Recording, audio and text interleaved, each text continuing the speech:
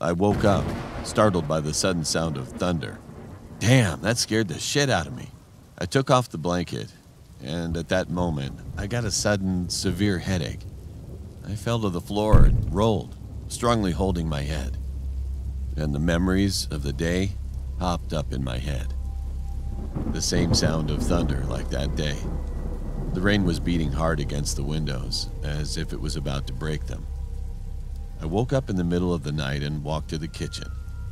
At that time, I heard a faint sound, which was really weird, like someone's mouth was suddenly gagged while screaming.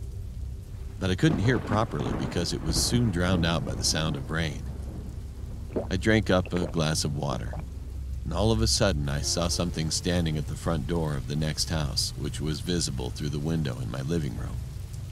With a flash of lightning, I found a vague silhouette of a human who was getting rained on without an umbrella.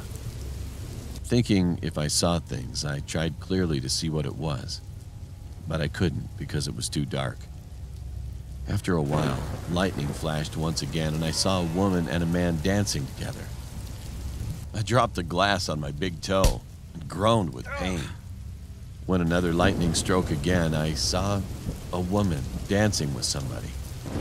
She was grinning from ear to ear. However, the man dancing with her was lifelessly swung around, just like a dummy by the woman. As it was kind of creepy, I checked the door to make sure it was locked. Then I turned my eyes to them again to clearly see what they were doing. At that moment, her eyes suddenly turned to me. I got startled and immediately hid myself. I was not sure whether she got aware of me or if she was just looking in this direction. When I looked back through the window after a couple of minutes, they were gone. Come on, this is not funny. Please. Muttering in a low voice, I looked around a bit nervously, then went back to my room. Next morning, it was noisy outside the house next door. There were several police officers, and I found the man next door was found dead. One of the police came to me and asked me if anything had happened to me last night. So I said, I saw a man and a woman were dancing in front of the house, and I hurt my big toe. The police showed me a picture of his dead body and asked me if he was the man I saw last night.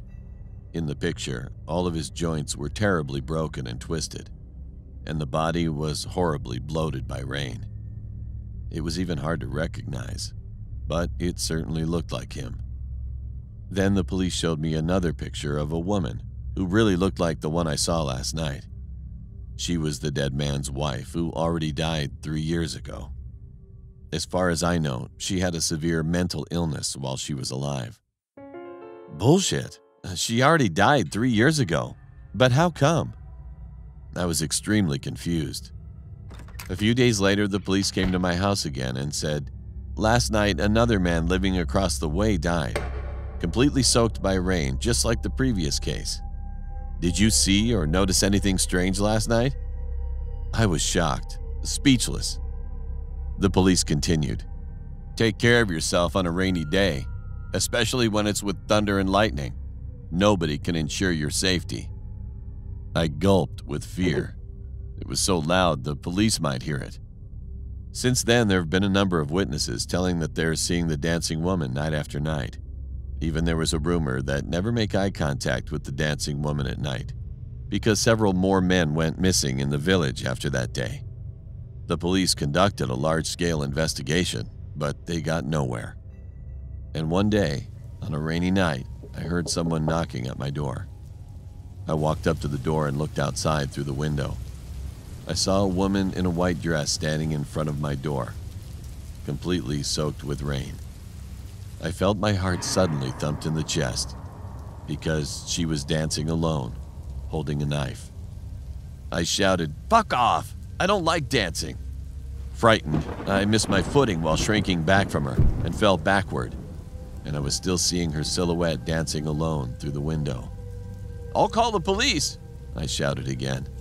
Then the silhouette disappeared, and fortunately, nothing happened that night. And I moved out from that house and six years have passed since then. I haven't heard any news about that village and the woman anymore. But even now, I completely lock all the doors and windows of my house when it rains and lightning strikes. Sometimes it feels like I can hear her laughing from the yard, or I see her shadow dancing frantically. Well, all this might be just hallucinations. But nevertheless, I didn't look out through the window to identify that. Until today, I still have no idea who she was. Just one thing I can't ever forget is her dancing. Looking back on it now, maybe that was not dancing, but stabbing the man frantically with a knife.